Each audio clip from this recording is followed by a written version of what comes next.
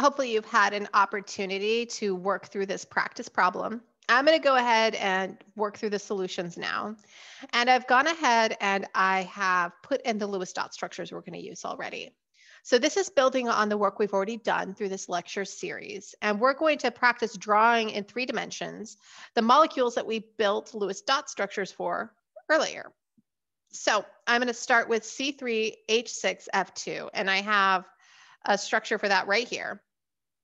So to build this in three dimensions, it actually helps me first before I draw it to kind of take a look at the geometries that I have for each one and label them. So my only central atoms that I have here are these three carbon atoms. They're the only things bonded to more than one thing.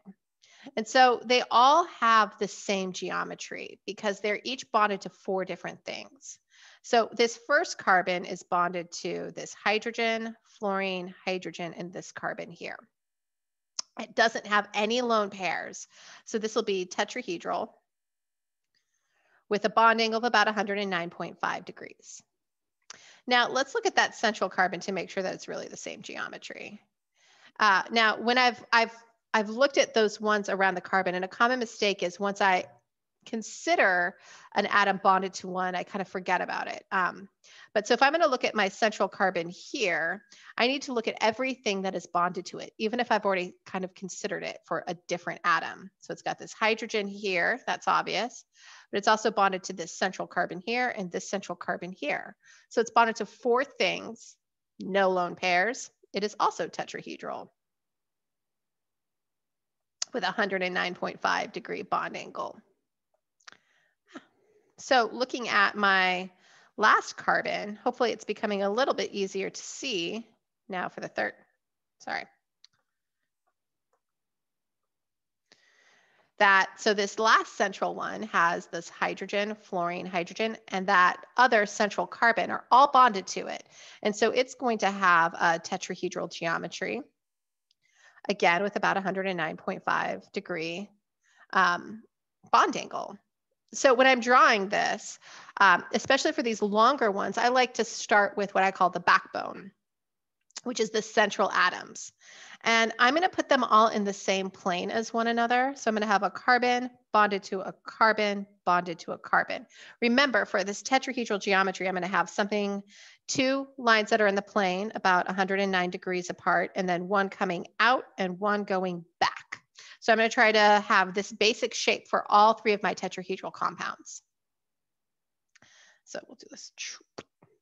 So then I'm going to have these two fluorines attached. So I'm going to have my fluorine come down in the same plane. So now I, and I'll, I'll add my lone pairs because I always add my lone pairs. So now for each of these carbons, I have these two in plane bonds right here. So for this carbon, it's right here and right here. So what that leaves is my wedge and my dash. And so I can come in and put those in. So for my first carbon, I have my wedge and my dash, and I have two hydrogens still to bond to it. So I'll put my hydrogens here. And for my next one, I've got my wedge and my dash, hydrogen and hydrogen wedge, and I'm running into my label from earlier, dash, hydrogen and hydrogen. And so I can see now I've built this 3D picture around each of these carbon atoms, and they're all tetrahedral and they all have bond angles of about 109.5 degrees. And so that's building that three-dimensional picture. Especially when you have a series of tetrahedral carbons, it's nice to put them in this little zigzag. It just makes it easier to draw. All right, let's do our next one. Um, so we've got our two carbons uh, with a double bond and then our two hydrogens. I'm going to start with my carbons again. Um, and so I'm going to start with these here. And I'm going to put a double bond in between them. And then from there, I'm going to have to build out based on my geometries. So for both of these carbons, they have three things bonded to them. So I'll show you here. I've got one, two, three. So this is going to be trigonal planar. The other central atom that I have is this oxygen right here. And this oxygen has two things bonded to it, and it has two lone pairs. So this is going to be bent with a bond angle that is less than 109 degrees. So I'll come through now and build this out. I'm starting with this carbon-carbon double bond, and then each of these carbons has a 120 degree angle, which means it'll be in the plane of the paper without wedges or dashes. Uh, you could do it also with a wedge and a dash. So our, our trigonal planars look like this, right? If you did it with a wedge and a dash, would be like a carbon-carbon like this, and then one going back and one coming out and one coming out. It could be like that as well but let's keep it simple. Um, all right, so from there, I see that I have hydrogens on the top. So I'll put my hydrogens in. And then I have these oxygen atoms bonded to these carbons as well. But now these oxygen atoms have lone pairs, and so they are going to be bent. So I need to get something that looks like about 109 degrees. So I could do this a couple of different ways. I could go up like this and make my hydrogen go here with my lone pairs like this. I could also come down to a hydrogen it doesn't really matter because it'll be 109 or less than. And here I have 120. And so that's how I would draw this one in three dimensions. And I didn't even have to use wedges and dashes for it.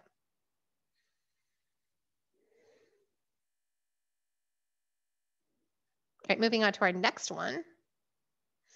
All right, so looking at this one, I've got um, some carbons and nitrogens. So uh, looking at my first carbon, I just have two things bonded to it. So this is going to be linear with about 180 degree bond angle. And I can see that this next carbon is the same. It has just two things bonded to it as well. So it will also be linear with about 180 degree bond angle. Looking at my nitrogen then, it has one, two, three and a lone pair. So that's going to make it, rather than trigonal planar, that lone pair makes it trigonal pyramidal.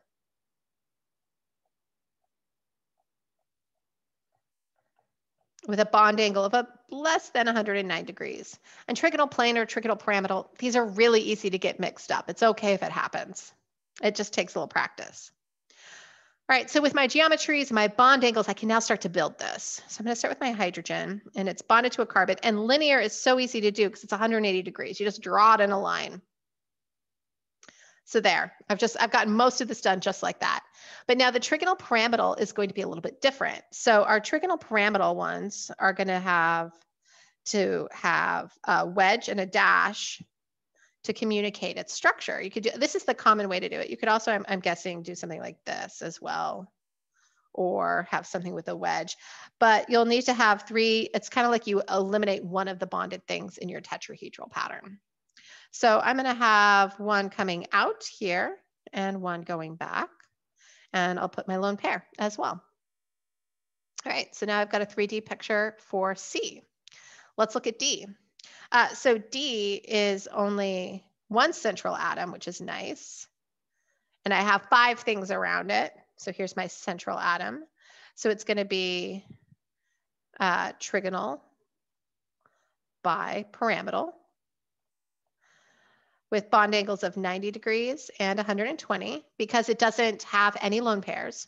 So when I draw this, I'm going to put my phosphorus in the center and uh, the easy way to draw trigonal bipyramidal, in my opinion, is I start with kind of this T of lines. And then I do one going back and one coming forward. And so this is my 120 degree bond angle, and here's my 90 degree bond angle. And all of these are chlorine, so I'll just put chlorine around at each one.